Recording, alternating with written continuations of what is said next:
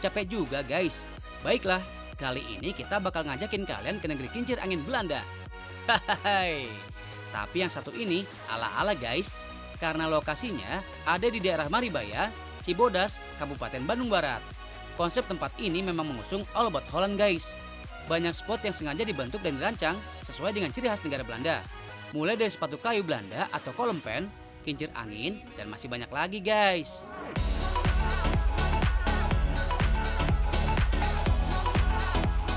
Rumah Belanda ini sengaja dibuat untuk memperkenalkan budaya Belanda ke masyarakat Indonesia. Mengingat secara panjang hubungan Indonesia dan Belanda yang begitu dekat. Biar makin seru, sebelum menjelajah tempat wisata seluas 4000 meter persegi ini, pengunjung bisa menyewa baju khas Belanda guys, atau dikenal dengan Klederdag.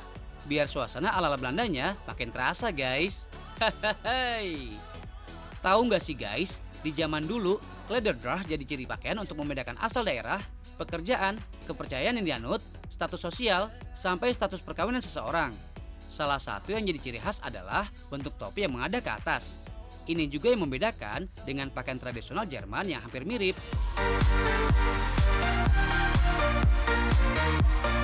Udah, udah, foto-fotonya ditahan dulu ya. Biar kamu nggak sakit, mending sekarang isi perut dulu. Tetap kok, menu yang disediakan juga olahan khas negeri Belanda.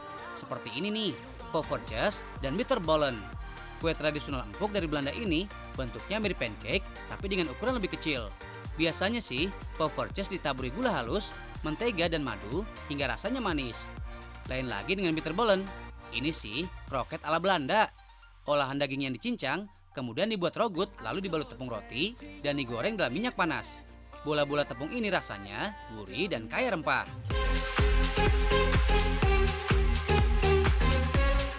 Duh si Eneng, mentang-mentang udah kenyang, langsung on lagi nih buat foto-foto. Untung aja yang jaga, baik tuh mau fotoin.